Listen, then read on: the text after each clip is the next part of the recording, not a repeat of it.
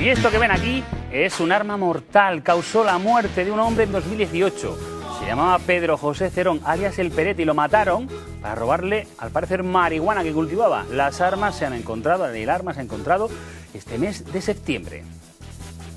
Se trata de una primicia de código 112 que les vamos a desvelar, pero antes recordamos el crimen.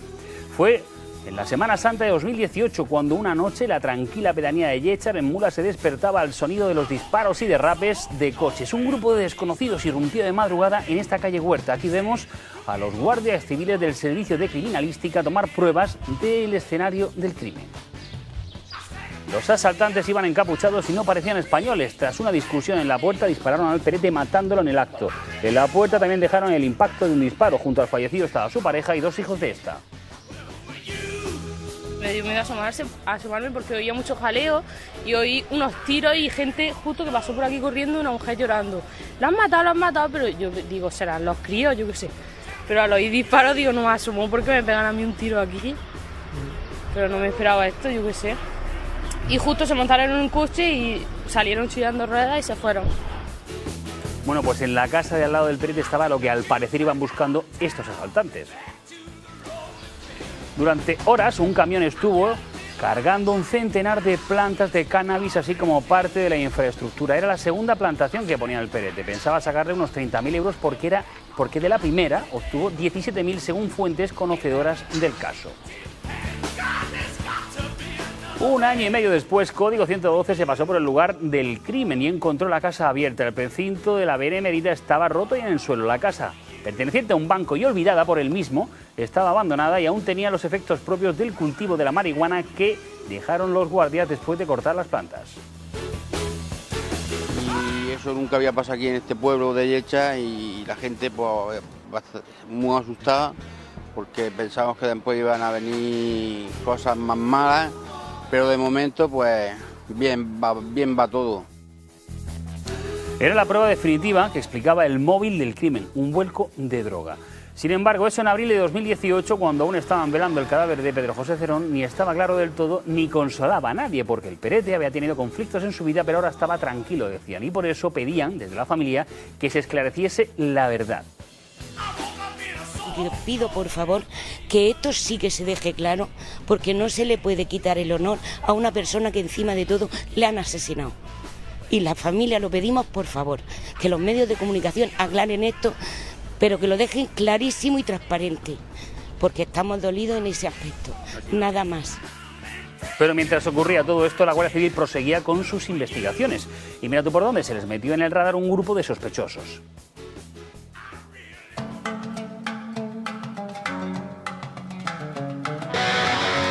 Se trataba de un grupo de magrebíes muy activos, investigados por varios delitos. Lo más llamativo es que podrían estar detrás del robo de una treintena de coches. Esos vehículos robados eran luego usados para dar palos u otros robos.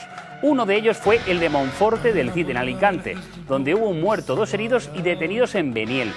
Tenían otro grupo, otra ramificación que actuaba en Murcia y fueron a por ellos. Hay uno en cada punta y en los coches ahí cortando la calle, es lo único que había. ¿Y cómo iba la Guardia Civil? La Guardia Civil pues con su uniforme y llevaba una metralleta de esa, como normal. Y se encontró, dice, con un policía, claro, no me lo dijo, digo, y se fue. Pero con los policías con armas, y digo, ¿qué, ¿pero qué pasa? No tenemos ni idea, en realidad. ¿Y usted sabe que detuvieron a un vecino de aquí del primero? No lo sé. Son las reacciones a varios registros y detenciones a lo largo de 2019, todo dirigido por el juzgado de Mula que empezó a investigar el asesinato del Perete. Hubo detenidos en Heralta, Archena, Murcia y hasta en Cartagena. Al final fueron cinco los arrestados y tres de ellos en prisión provisional.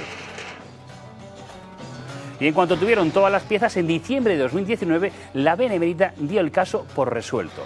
Los detenidos son de nacionalidad marroquí, argelina, maliense y española con edades comprendidas entre los 23 y los 31 años.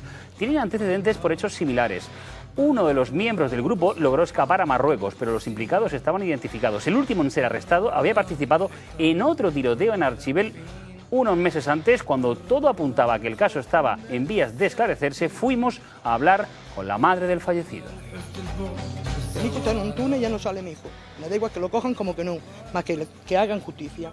No sé si en los caras que ha salido, si eran los asesinos o no eran. Yo quiero ver la cara del asesino que mató a mi hijo. Si no eché ni lágrimas con mi hijo.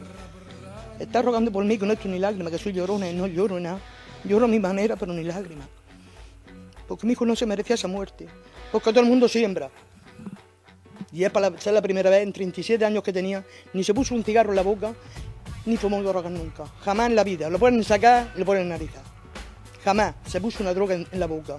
Pero la mala suerte que vino a sembrar y lo mataron él solo entre tantos que había. Es lo que me explico.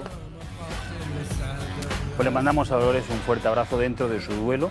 Esta era la historia del crimen, esta era la historia de cómo se resolvió, pero faltaba en todo esto una pieza, el arma del crimen.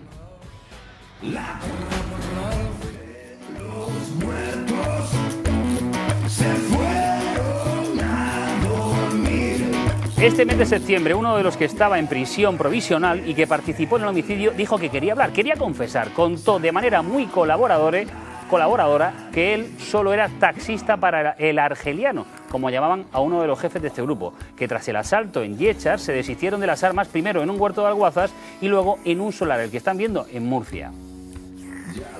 Como quiera que intentó señalar en el juzgado y a los guardias civiles el punto donde estaban las armas, ubicado en Beniaján, pero no se aclaraba, fue sacado con esposa y con escolta para que indicase él en persona dónde se habían deshecho del arma usada para matar a Pedro José Cerón. Esto tuvo lugar el 14 de septiembre de 2020. Andaron por el sendero hasta hallarla.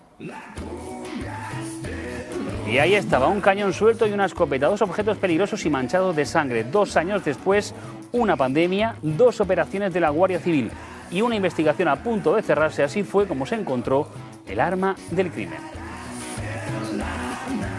Ya veremos cómo sirve todo esto de cara al juicio, que si no hay más sorpresas es lo que le falta a esta historia. Ahora nos vamos con otros temas más candentes.